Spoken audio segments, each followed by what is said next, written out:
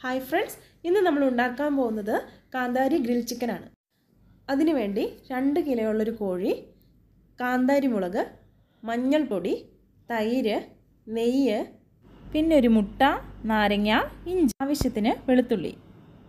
കുറച്ച് കുരുമുളക് പൊടിയും കറിവേപ്പിലയും പച്ചക്കുരുമുളകും അപ്പോൾ ഇവയെല്ലാം നന്നായി ഒന്ന് അരച്ചെടുക്കുക.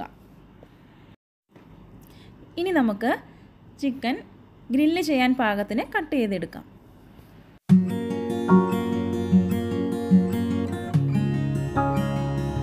നമ്മുടെ ചിക്കൻ കട്ട് ചെയ്ത് നന്നായി വരഞ്ഞെടുത്തിട്ടുണ്ട്.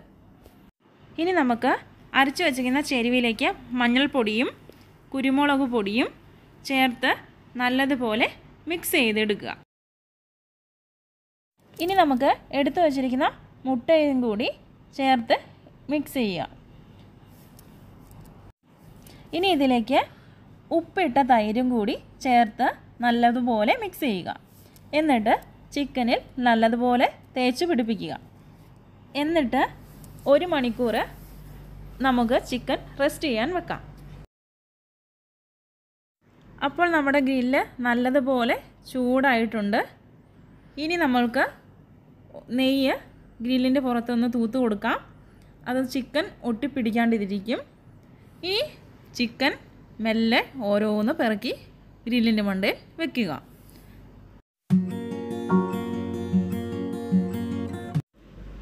അങ്ങനെ നമ്മുടെ ചിക്കൻ ഏകദേശം പതിനഞ്ച് മിനിറ്റ് കഴിഞ്ഞിട്ടുണ്ട്.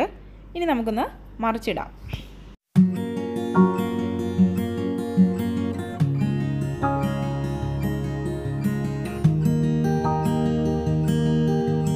മറിച്ചിട്ട ചിക്കനിലേക്ക് അല്പം നെയ്യ് തേച്ച് കൊടുക്കുക. ഇത് ചിക്കൻ ഓവർ ഡ്രൈ ആകാതിരിക്കാൻ ഹെൽപ്പ് ചെയ്യും.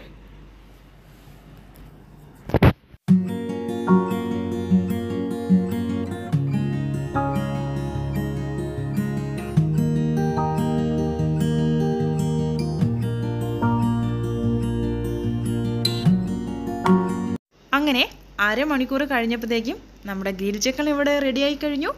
ഇനി നമുക്ക് സെർവിൻ പ്ലേറ്റിലേക്ക് മാറ്റാം. അപ്പോൾ നമ്മുടെ ഫൈനൽ ലുക്ക് ഇതാണ്. ഇനി ഇതിന്റെ കൂടെ ഞാൻ ഡിപ്പ് ചെയ്യാൻ വേണ്ടി ഒരു സോസും കൂടി ഉണ്ടാക്കിയിട്ടുണ്ട്. കഴിക്കാൻ വളരെ ടേസ്റ്റിയാണ് അപ്പോൾ എല്ലാവരും ഒന്ന് ട്രൈ ചെയ്യുക. ഇഷ്ടപ്പെട്ടിട്ടുണ്ടെങ്കിൽ കൂട്ടത്തിൽ ലൈക്ക് ചെയ്യുക ഷെയർ ചെയ്യുക. സബ്സ്ക്രൈബ് ചെയ്യാനും മറക്കരുത്. Thank for watching